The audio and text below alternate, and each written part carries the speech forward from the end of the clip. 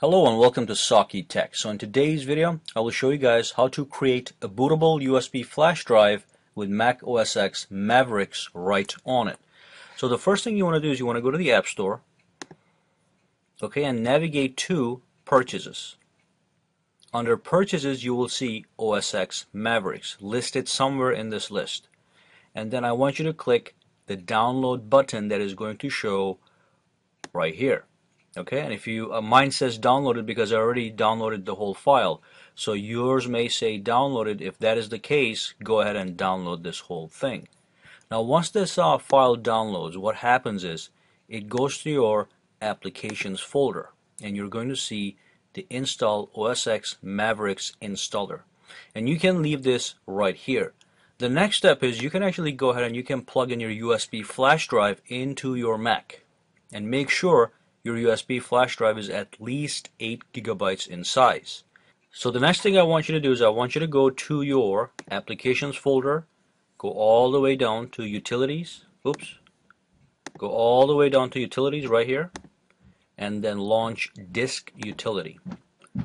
That's going to take a couple seconds to load. Now once your disk utility loads, you'll see your USB flash drive listed right here on the uh, left hand side. Mine is a SanDisk Cruzer so that is what, I'm seeing. So what I want you to do is I want you to format this drive. Uh, to do so, go to Erase up here, and then choose Mac OS X Extended for the format, and for the name, just name it Install Mavericks. And make sure this is just a one-liner, and it's not like uh, you don't have any spaces in between okay just to keep it simple. Once you have this set up click erase and what that is going to do is that is going to format your uh, USB flash drive and that will take a couple seconds. Okay so the um, format is complete and just to let you know this is your USB flash drive and this is the partition that you created right on it. Alright so let's uh, minimize this. Okay, so the next thing we're going to do is we are going to launch the terminal. Okay, so go to the little search box up here, the search button, and search for terminal, just like this, terminal. Okay, and just click terminal, and this is what's going to launch.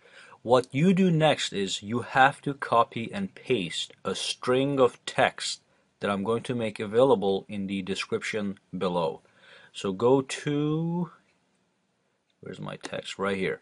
So this is the text. You have to copy the whole thing and you're going to have to paste it right here. Okay? Now before you press enter, what I want you to do is, you see this untitled right here? Let's go back here.